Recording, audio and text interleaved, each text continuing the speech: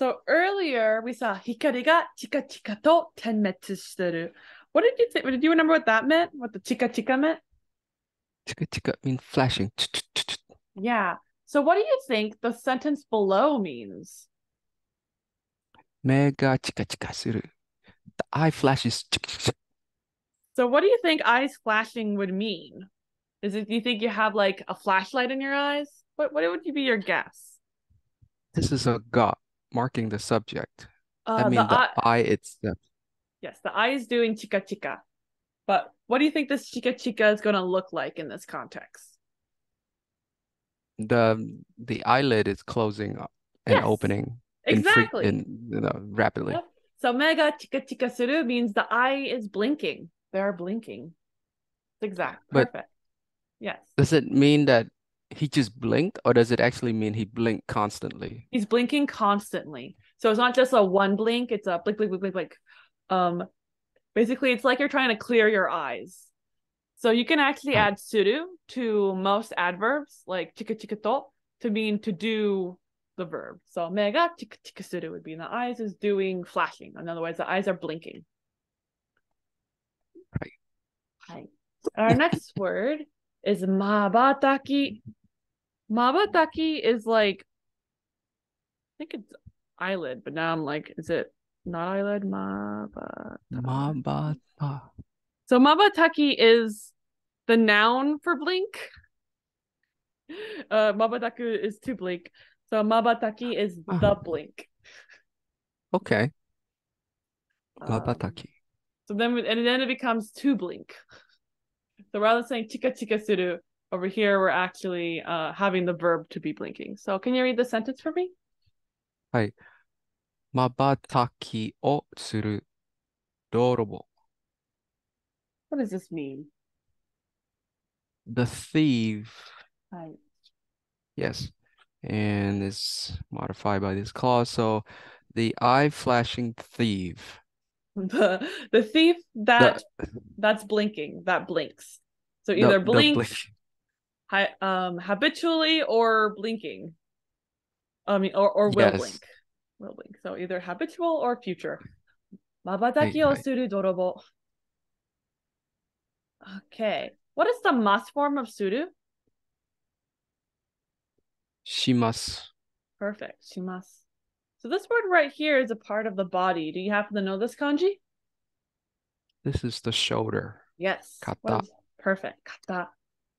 Nice. So now we're looking at passive form, which we've probably seen before, um, specifically with u verbs. So modoru is an u verb. That's r plus u. So you take out that u and you replace it with areru to make modorareru, which is to have returned, like some something else is doing the returning. That's not the subject.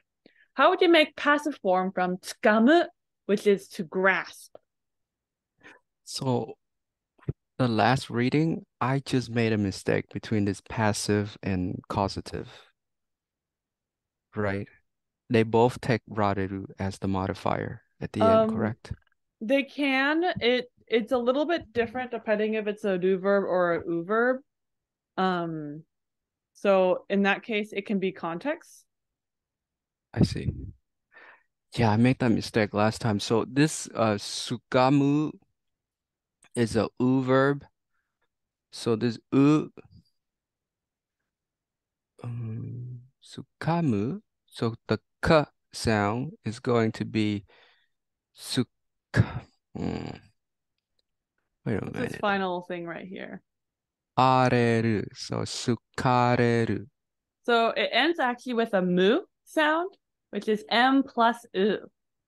So what you do, you just Yes. take that that u and you add the a, so it becomes Sukamareru. yes, tsukamariru. So do verbs, which are verbs that end with do that are not like modoru, um, their passive and causative form are identical, but um, this is a u verb, so they look different. Um, causative form for u verb would be um, raseru, I think. I think that's what it was. I think that's what it is.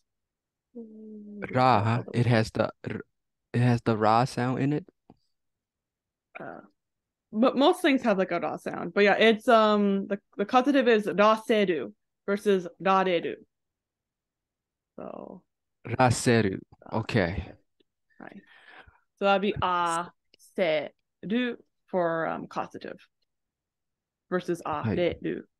Um, but it is true that if we were looking at a do verb that is do, not R plus U, then it, they do look the same in that context. So miru, for example, to see um, would both be mirareru for both versions. Um, which is definitely confusing. Um, can you read this for me? T-san ni kata o tsukamareru. かまれる。つか肩をつかまれる。つかまる is to grab something, right? It's Yes. to hold, hold on to In passive form. uh, in passive form. so what are they grabbing onto? Onto the shoulder, but Yes. if this is a passive verb, then does that mean that that is a ga and not an o? I'm confused here. Okay, so that confusion comes from how I was describing that. The difference between o and ga is actually intent. It is not the passiveness. I just didn't know what was the right word. If there's intent, like someone had a brain and was like, I will do this, you will use o. If there's no intent, you will use ga. So no intent is ga. Tsukamaru is to grab something, and tsukamareru is a passive grabbing. In both sentences, somebody had in their brain, I will grab something. The difference is that tsukama, tsukamu would mean the subject of the sentence does the grabbing. Subject grabs. Tsukamareru means subject is grabbed. So over here, the person getting their bags grab, their shoulder grab, is not the subject of the sentence. It is somebody else. So the one doing the grabbing will not be marked by what.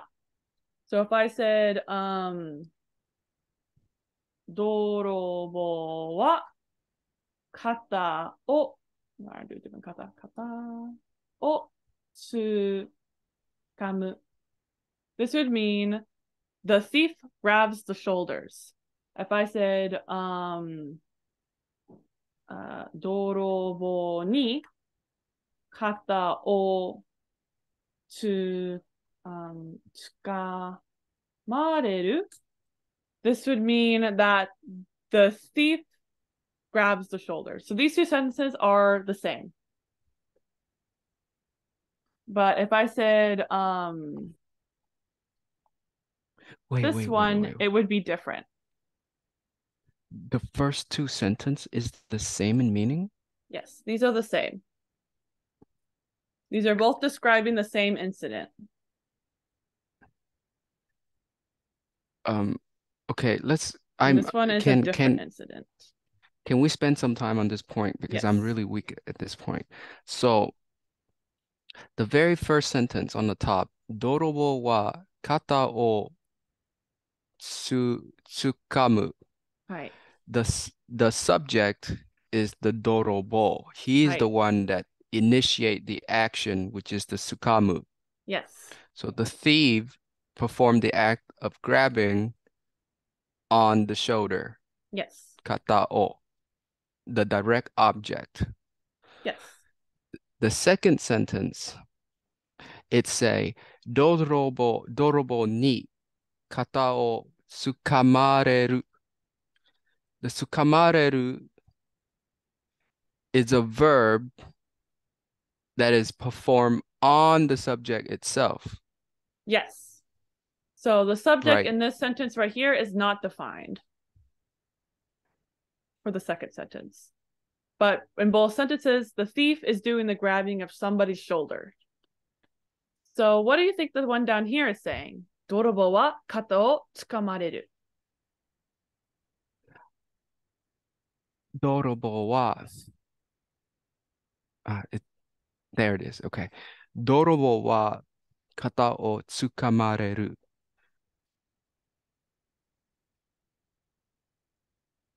Okay, so this, this third sentence say. As the subject is yes. 泥棒, so we know it's not doing つかむ but tsukamu is being done to the dorable. So we can assume these are the dorables kata.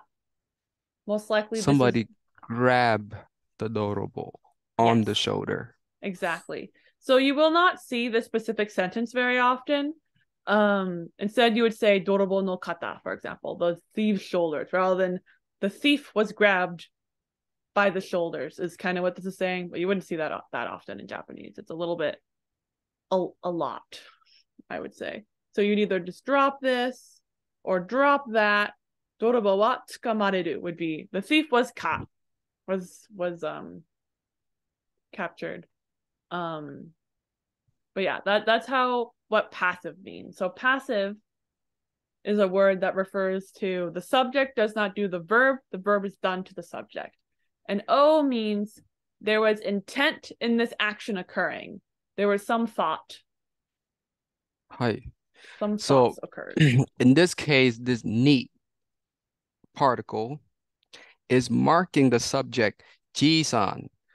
The subject Ji-san Ji-san is It- it's being marking grabbed. the doer, yes, but theoretically, it's not called the subject in this context due to um conjugation.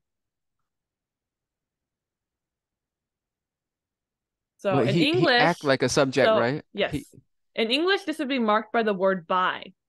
My shoulders were grabbed by Sam. That's that's that I, I think that's what I kind of mean in my mind when I say subject. Yes, I'm I'm thinking subject is the is the the one who performed the verb. hmm That's that that is like how you're taught it means in the beginning. But theoretically, because of the conjugation going on here, tsukamareru in passive form, it means that it is performing the form in the act of having the ver- a verb done to them, is them performing the verb. Which is kind of like convoluted to um think about it that way. But that's how you would describe what passive is. My shoulders were grabbed by grandpa this kind of moving things around. The subject is shoulders. Um, well, or my perhaps. I, I'm the subject of the sentence, even though Oh, I'm not Lord, doing I'm- the verb. It- it's because the getting- verb tsukumaru is not to grab. Okay, it's not to grab anymore. Doesn't mean It's that. to be grabbed. It is to be grabbed. So, this is the okay, action I'm- they're doing. To be grabbed. I am to But- doing to be grabbed. the person that that being grabbed is not indicated in this sentence. There Yes. is a there is someone, it could be I, Yes. could be some other person that was being grabbed by the grandpa. Yes. Exactly. Okay. It's whoever these kata belong to, which should not be the grandpa, because that would be weird. But yeah, grandpa is The grandpa here is not the subject of the sentence. Yes. He is the tool for how to get this done to the subject. He's a thinker. Okay. Um, so yeah, that you'll get used to it as you see more and more sentences. Um, I think like passive is easier in Japanese than it is in English because in English you have to throw in like 20 words and like move everything around. And I'm always like, how do I rearrange the sentence? um versus Japanese, it's like pretty easy. Just the verb is changed and then the wa is no longer being done. But yeah, next is dekai, which means huge, large. Right. Dekai. Dekai. Um, so let's go read this sentence. Dekai te de kata o tsukamareru. Hi. So now we have a different tool marker, which is de. Hi. Who's the te? Do you think this is? Is it the te of the person whose shoulders are being tsukamaru? Or is it the te belonging to the person doing tsukamu? It's the te belonging to the person doing the tsukamu. Yes. Is it that one? Or is it belonging to the person doing tsukamaru? The tsukumu, the per the hand that touches the subject Yes. is Exactly. marked by the de. Yep. What do we know about this hand? It's a large hand. So, a large okay. hand touches whoever it is. Yes, grabs the shoulders. Grabs. Hi. Uh, our next word is furikairu. Furikairu means basically a look behind. Furi. Hi. Furu is to shake and kairu is to return. So return shaking is to look behind. So normally this is turning your head to look behind. It's not normally spinning around in 180 degrees and be like, ha, gotcha. It's normally more just the head rotating the 80 180 degrees. Really? Furikairu. Furikairu. Okay. And then we have ikinari, which means suddenly or with no warning. Ikinari. So this is different than totsuzen. Because totsuzen is just like suddenly this action occurs. Ikinari more insinuates there was no build up for this occurring. Is kind of the idea of ikinari. Um, so you're not really gonna normally start a sentence with ikinari, but you always but totsuzen almost always shows up at the beginning of the sentence. It's like the and then this happened kind of word versus ikinari is more like this is an adverb that is special. It doesn't have to, ku, or ni. It's just ikinari on its own. So it's a special little adverb.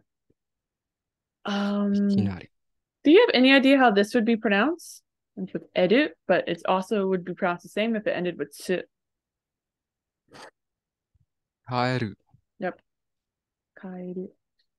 Okay, so now we're learning a new if when statement, which is tada. Tada is basically if and when when you're talking about one specific occasion that either will happen or did happen. So you're not really talking about all laws in the universe of something occurring. For example, in future tense, you can say natsu ga kitara nihon ni iku would mean when summer comes, I will go to Japan. This doesn't mean I go to Japan every year in the summer, but it means this coming summer, when it arrives, I'll be going to Japan. So this would be example of the win, referring to one event. There's also, for example, Soreo nusundara shinuzo. This right here means if you steal that, you will die. It's basically what it's saying. But it makes it if you said toll, that'd be really aggressive. It says when you steal it, you die, like as a fact. Versus tada, more like, well, if you happen to decide to steal this, you're just you're just gonna die. So this acts more like a warning in that case.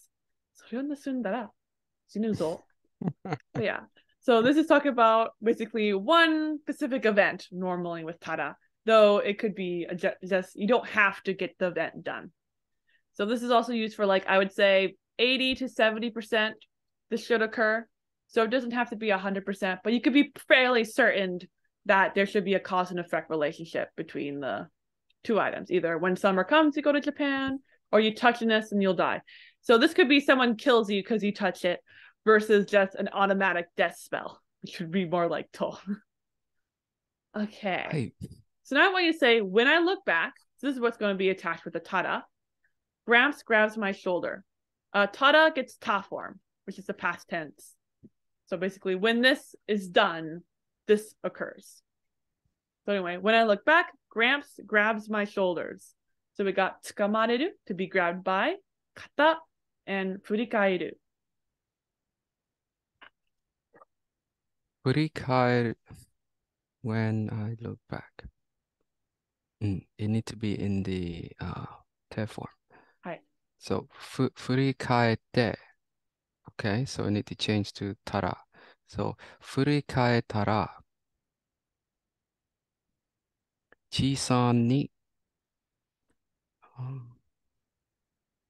kata o tsumareru. Tsumareru.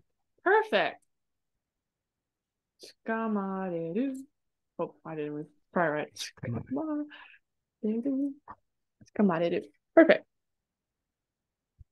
Okay, so this is uh do you remember what nagara meant? Remember last time it took you like a little bit to do a little refresher. Nagara is while while yes. the act while the while doing a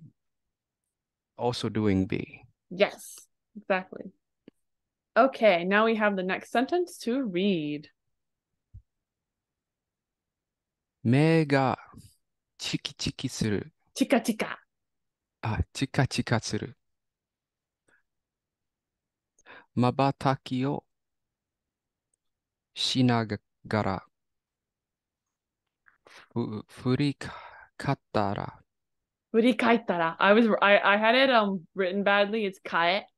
Uh the e is not outside of it. what confused you. Wakimichi ni haite kite ita. Ni ikinari de. Um sorry. Ikinari dekai de. でっかいで、で、あ肩をつかまれた。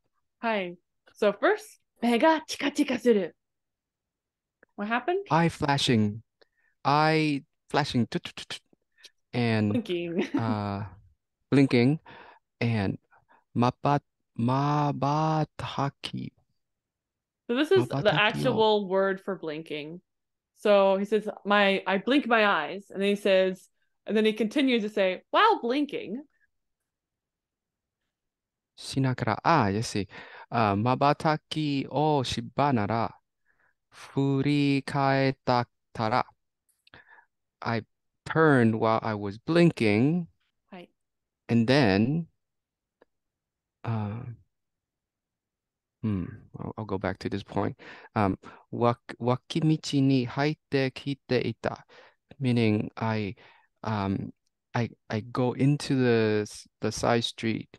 What is this being attached to right here? It's not a period here. This is a relative clause. I see here. So is the Jisan ni, um, the old man, the old man, um, tur uh, enter into, uh, and this kita is referring to Khan. He's he's he's Yes. enter the street and move towards Khan, towards Khan, and it's Ikanari. Ikanari. So he suddenly tsukamarus. Ah, yes. Ikanari, uh, he suddenly um, grabs my shoulder with his large hand. Perfect. Yep. So when I turn around, my shoulders were suddenly grabbed by his big hands, which were from the grandpa that had already returned entering into the street. But yeah, you don't really say see data that often, so it's kind of funny. Okay, perfect. And now we're just going to do a little kanji check before our lesson ends. Do you remember how this guy's pronounced? Ashioto, Perfect. And next one's over here. oku, Perfect. And this guy? kieru, Nice. And this guy will be our last one. furikaesu. Yep, furi. This is actually furikairu. Um, furikaisu would be to return something. One of them is I return, and the other one is I return something. They're basically the same verb. It's like deru and dasu, but in this case, it's ending with su versus ru. Furikairu, furikaisu. Um, but yeah, this compound word is furikairu. But yep, that's it for today.